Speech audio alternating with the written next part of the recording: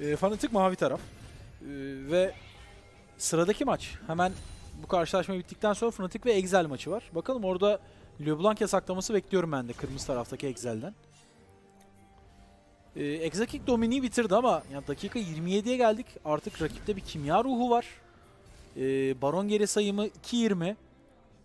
Yani Exakik'in Ay Of of of of of Sertus silindi haritadan. abi bunu nerfleyin hemen.